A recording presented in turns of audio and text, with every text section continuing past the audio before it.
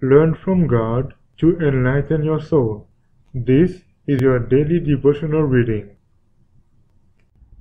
Our Father Cares, May 19. A progressive faith. But without faith it is impossible to please him, for he that cometh to God must believe that he is, and that he is a rewarder of them that diligently seek him. Hebrews 11, verse 6. The time has come when we ought to expect large blessings from the Lord. We must rise to a higher standard on the subject of faith. We have too little faith. The Word of God is our endorsement. We must take it, simply believe in every word. With this assurance, we may claim large things, and according to our faith, it will be unto us. The work of faith means more than we think. It means genuine reliance upon the naked Word of God. By our actions, we ought to show that we believe that God will do just as He has said. The wheels of nature and of providence are not appointed to roll backward nor to stand still.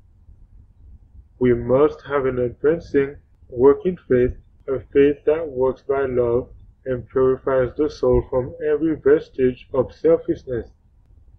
It is not self, but God, that we must depend upon. We must not cherish unbelief. We must have that faith that takes God at His word. True faith consists in doing just what God has enjoined, not manufacturing things He has not enjoined.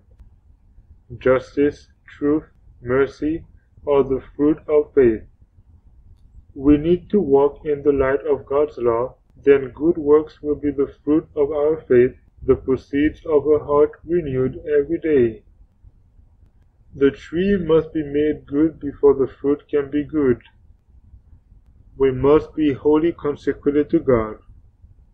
Our will must be made right before the fruit can be good. We must have no faithful religion. Whatsoever ye do, do all to the glory of God. 1 Corinthians 10, verse 31. Oh, what a field is opened before me! Our people must have the deep working of the Spirit of God every day. They must have a faith that works by love, a faith that emanates from God.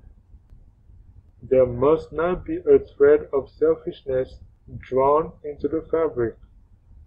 When our faith works by love, just such a love as Christ revealed in his life, it will be of a firm texture, it will be the fruit of a will subdued.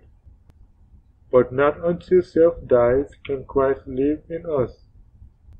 Not until self dies can we possess a faith that works by love and purifies the soul. Our Father May 19th.